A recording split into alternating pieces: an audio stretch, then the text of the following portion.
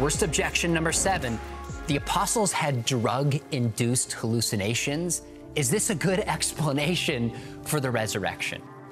Look, the place to start is to ask is there any evidence that the apostles took drugs? Because there's a big difference between a hypothesis that is possible and a hypothesis that is probable.